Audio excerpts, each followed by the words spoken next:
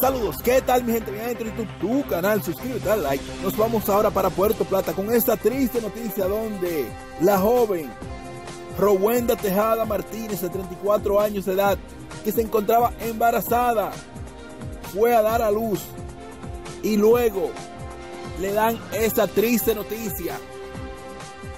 Rowenda fue a dar a luz al hospital Ricardo Limardo de Puerto Plata.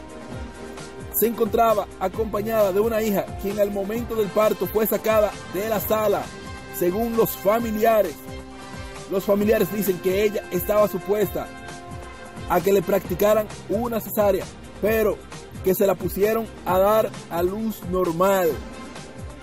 Luego de dar a luz, Rowenda Tejada habría sido despachada a su casa sin la niña, alegando que la bebé presentaba unos problemas de salud.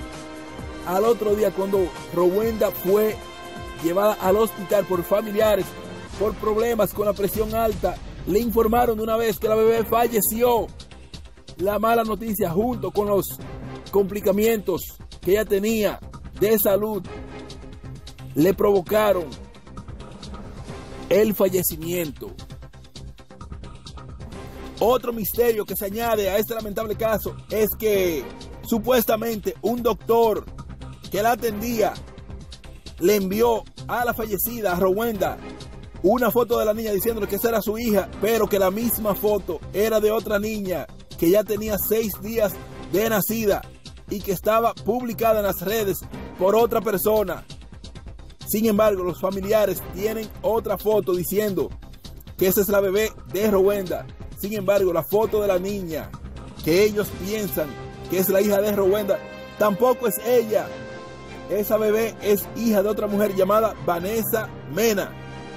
Vanessa Mena tuvo que hacer una publicación para que dejaran de compartir la foto de su hija, ya que tiene 5 años de edad y que no es la bebé de la joven fallecida.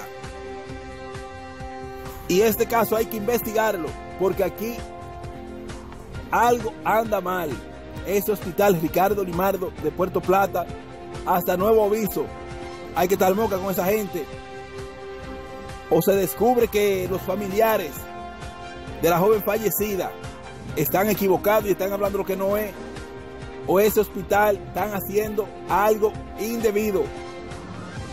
Porque como diablo en un país donde vienen gente de Haití, mujeres de Haití, a dar a luz y no le cobran, entonces los dominicanos no podemos tener seguridad cuando vamos a un hospital ahí que uno tiene que estar asustado ahí, que si uno no anda con 20 guachimanes atrás que le pueden cambiar el hijo a uno, quitárselo decir, ah, no, se murió. Vean una foto ahí, cogen y se lo venden a una gente por ahí que tenga cuarto, que le hayan ofrecido dinero, ah, queremos un niño ahí. No estoy diciendo que eso fue lo que pasó, pero uno tiene derecho a pensar que eso está dentro de las posibilidades, porque no sería la primera o la última vez que se vea. Entonces, esta joven madre con problemas de la presión, imagínense que le digan que su hija murió, que la dejó viva ayer y que vuelve hoy. Ah, no, la, la niña se murió. ¿Qué usted cree que le iba a pasar? Muy lamentable este caso y que estemos